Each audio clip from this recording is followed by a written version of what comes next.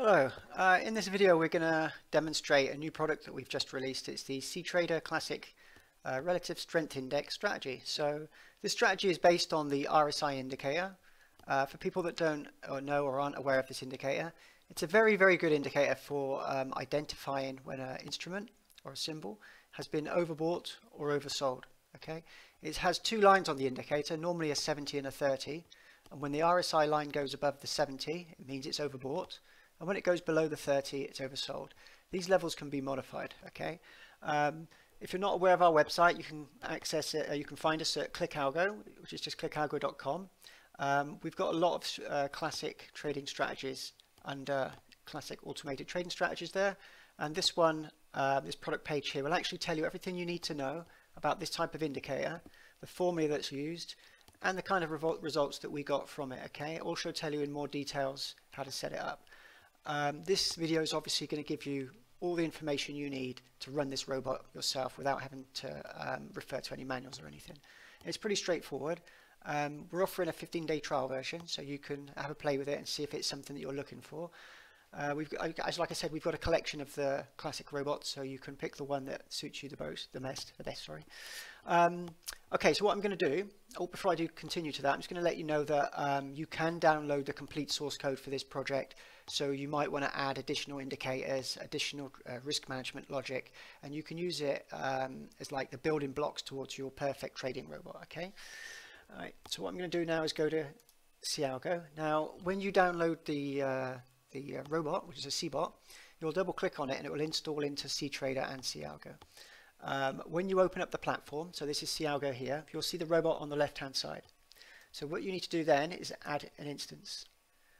Okay, that's going to add an instance of the robot. You can have multiple instances, so you can have multiple symbols running at the same time. You can use this robot as an automated trading system. You, you can also use this robot as a signal generator. So for example, if for a signal generator, you could set the time frame to anything you want.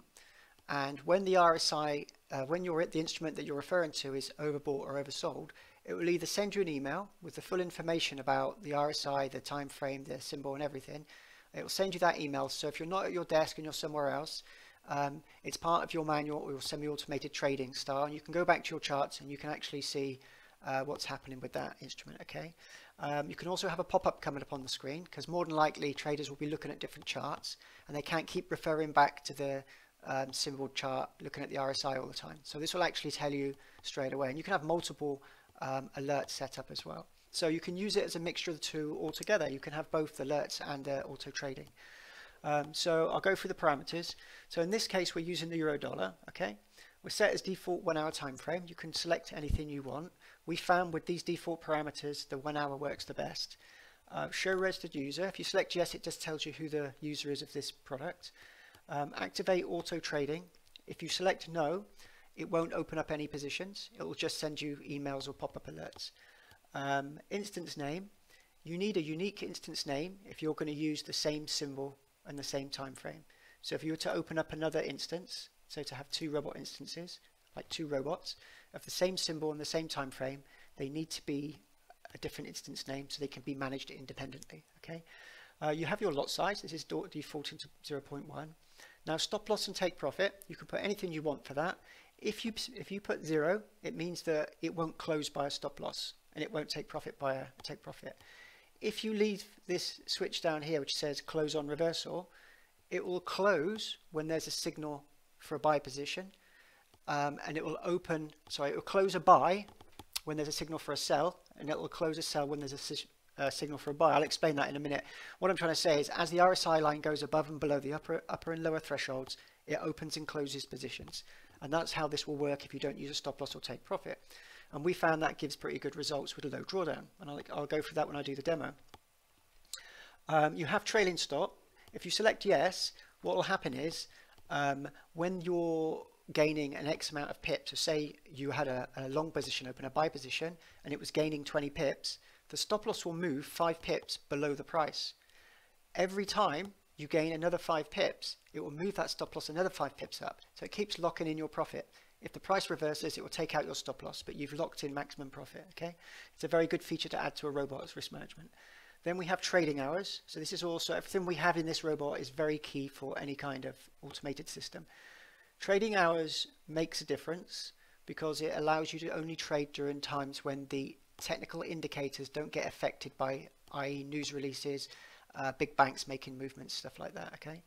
Um, all of these values can be optimized, maybe not the trailing stop, but definitely the trading hours and the uh, indicator parameters, and I'll explain that later. Um, now RSI periods, uh, this is the default value 14, we've just left it at 14. Um, now we've got upper and lower threshold. Um, what I'm going to do quickly is just put the indicator, well first of all I'm going to show you how you would add the indicator if you're not familiar with it. You go to oscillators and you've got this relative strength index there. You'd actually add it this way, click OK and it will get added to the screen, okay? And you can select your levels there. I'm just going to not OK that because I pre-saved one already as a template because I like this background color. So here you can see the levels I've selected as 60 and 40. The levels on the the levels you're showing on the chart should be the ones showing on the indicator. Now you don't need the indicator on the chart for the robot to work, but for cross-referencing, it's useful.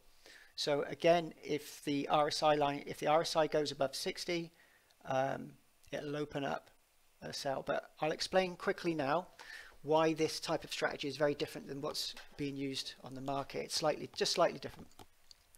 Okay, instead of um, opening a position when the, um, say the RSI line drops below, say the lower threshold, it actually waits for a reversal.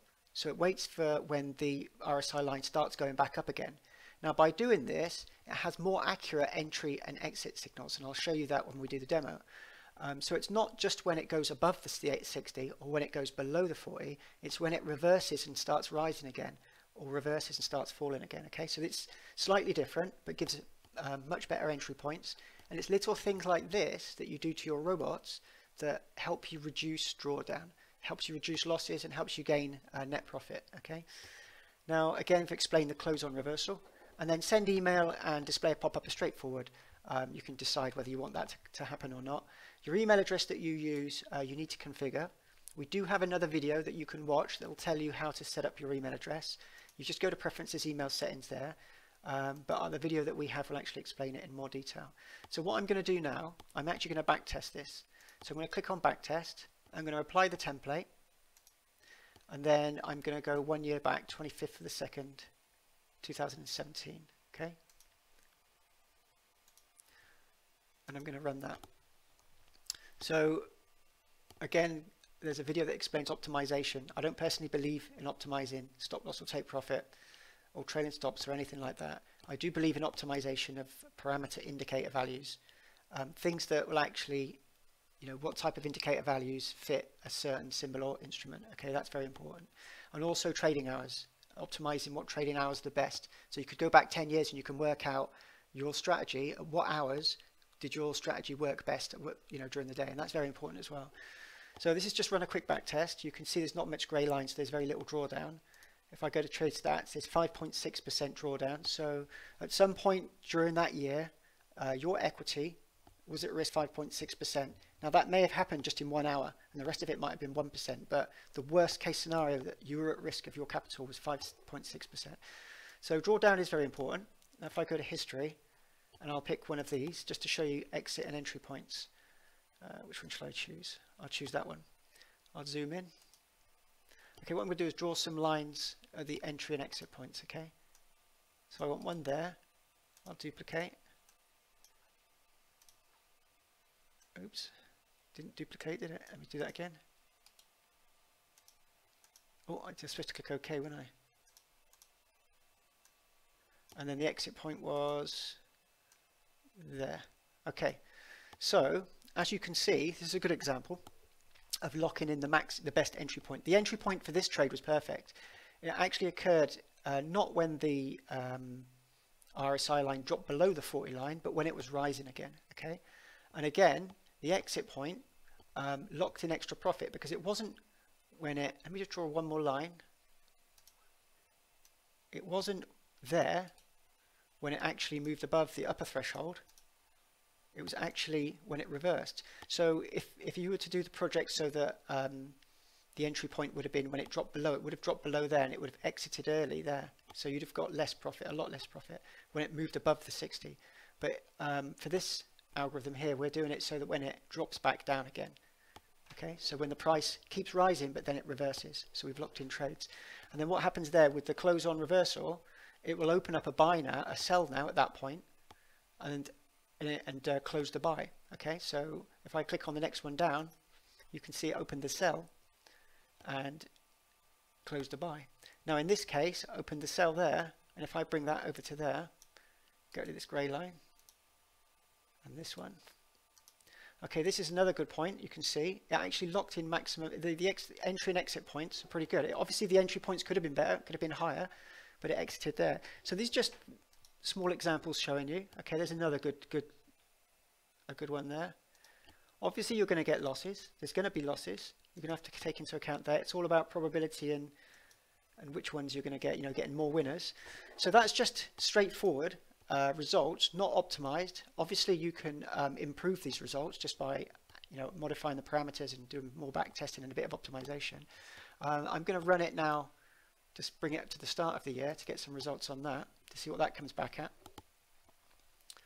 Um, so again, you can find, you can run this on different symbols um, and if you look at the video that we're doing on optimization, it will show you how to get the best upper and lower threshold for each um, symbol. It doesn't actually use this, these parameters, but it demonstrates it using a different indicator, a different strategy. I think it's the other one of the other robots, moving average one. Um, but you can also find the best best values. Okay, so that's come back at 18%. Um, drawdown's a bit higher.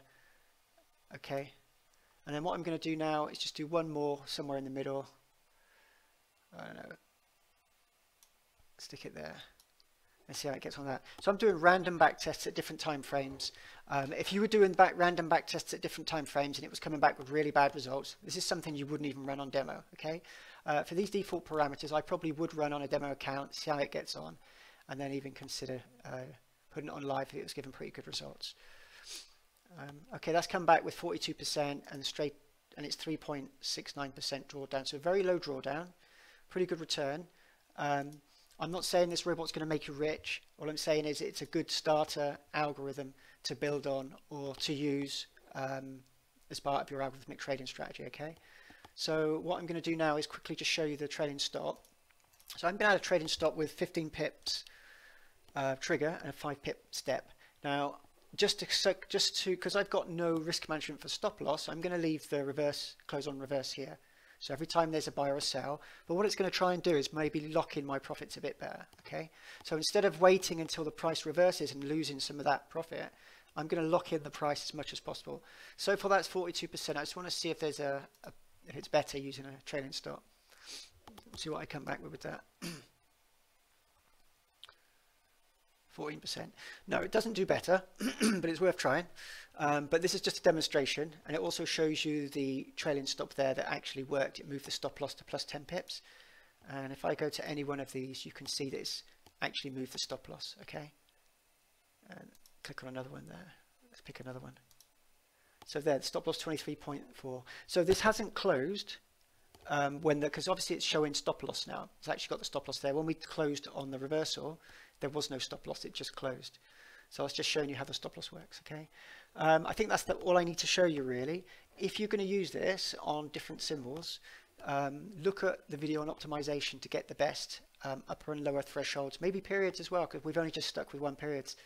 Um, the idea is over the date range of the instrument you're using, from the, in this case it goes right back to 2011, see if you're getting fairly good results out of the whole date range, just with fresh data, not optimizing it, just running it. It's fine to optimize the indicator parameters, but don't actually fit your robot to, to the data. Um, and that's something you want to do for different instruments until you get an instrument that gives you very, very good returns. And then maybe you want to start running that to see what the returns are going to be, okay? All right, if you like this video, give me a thumbs up at the bottom because it makes a big difference on, um, on well, on Google, really. It makes, makes me more noticed. That'd be great. Thank you very much.